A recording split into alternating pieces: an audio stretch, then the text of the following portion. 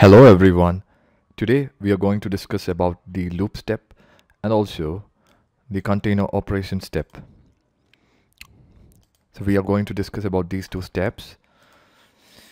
So without wasting time, let's get started. So I'm going to double click on the undefined step and then I'm going to choose the loop step.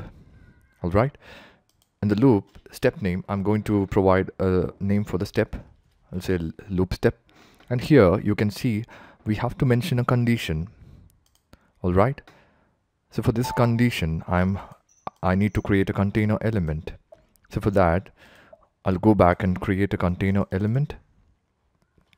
I'll give the name as counter. And i will provide the type as num1 yes. So now i go back to the loop step and then I click on the new condition. And here I'll provide the expression.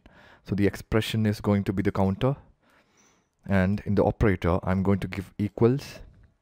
And I'm going to provide a value here a constant. All right. Enter. Click on the tick mark. So so basically what what what means is that the loop is going to continue. The loop is going to continue till this condition is satisfied.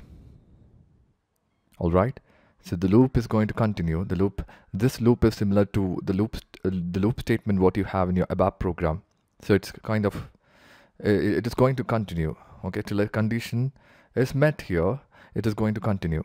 All right so for that i will also mention the counter as importing okay, because i'm going to provide a value to this this this element right? And also I'm going to provide an initial value as 1 so the counter will begin with 1 okay? So the the first loop pass the value of counter is 1 so it becomes 1 equal to 5 so the condition is not satisfied. Until it re reaches 5 uh, the condition is not going to get satisfied. So that means it goes to the new loop pass if the condition is not met. Okay?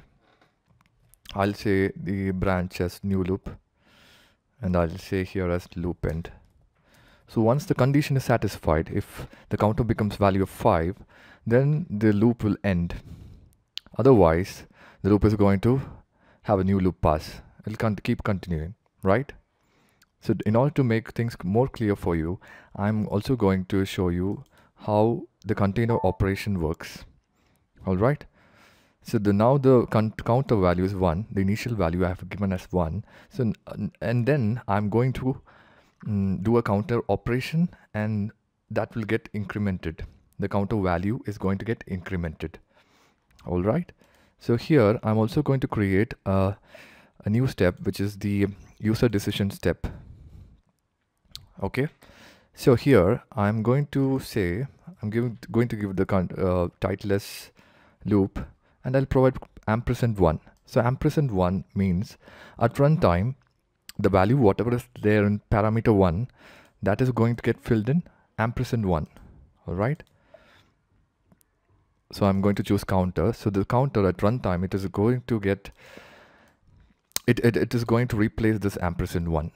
All right. And now I'll provide an outcome as approve branch. So the outcome will be approved okay you can create keep uh, your own text but here i'm going to create as approve. So this is a user decision step in which there will be an agent who is going to act on this um, step. Okay there needs to be a person who's going to take action on this uh, step.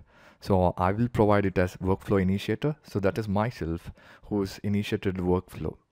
All right? So I, I hope this is clear for you. This is just um, like the counter value is going to get replaced in every loop pass. So every loop pass, this value is going to get incremented.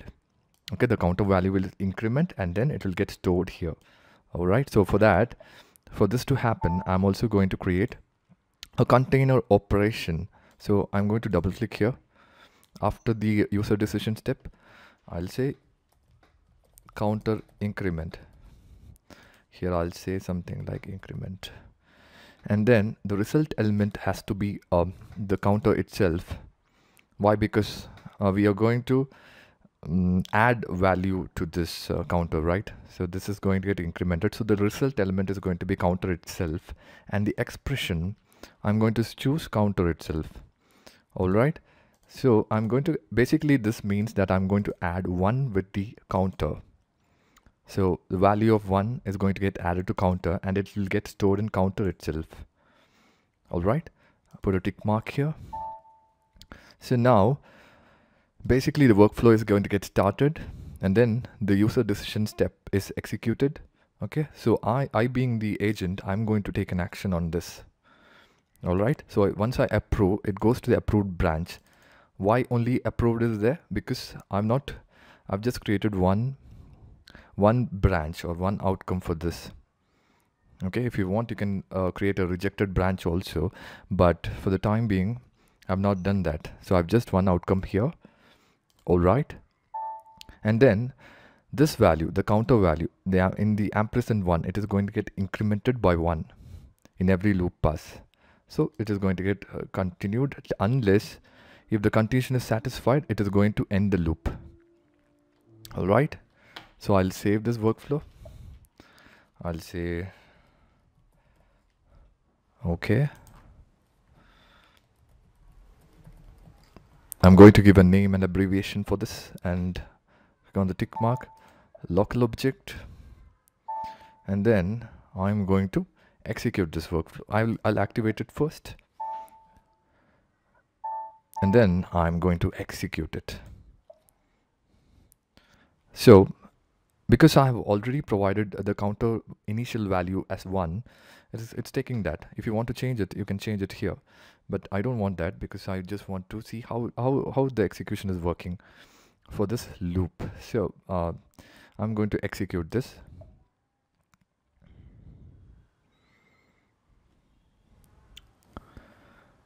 So as you can see here, um, the loop, uh, the user decision step got executed and it, it becomes the counter value is one now because this is the initial, the first step is the user decision step, right? Right. So it, it becomes loop 1 because the counter initial value is 1. So once I approve this, it again goes to, it increments the counter and then again it comes back to the user decision step. So now I have the value of um, amp, uh, amp, uh, ampersand 1 as 2, right? And now again I approve it. Now loop 3, approve, loop 4, approve, it ends the workflow. So you can see the workflow work item is got completed. Workflow is completed. All right. So this is how uh, this is works. So you can see here there are four loops. Okay, in the fifth in the fifth loop, the condition gets satisfied. All right, for the loop, the condition is it should be equal to five. So only then the loop will end. So in this case, after the fourth loop, the condition is satisfied and it ends the loop right so you can see here this is the path the um, the workflow has taken okay first workflow starts user decision loop one approved. I'm approving it uh, in the in in the, from the screen and then the the uh, it, it gets incremented. All right? The increment step we have created counter operation step we have created so the, it gets incremented by one. The counter element is incremented by one. Then it goes for the new new loop and then it gets repeated until the condition is satisfied. Once the condition is satisfied the loop ends. All right so that's it basically for today. Um, and please do not forget to like comment and subscribe to my channel. All right. Thank you. We'll see you in the next video